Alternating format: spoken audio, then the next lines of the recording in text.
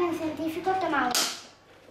Hola, me llamo Jaime y esta es mi maqueta. Y se llama la reactividad. Están investigando si los minerales son reactivos o no. Lo descubrió Marie Curie.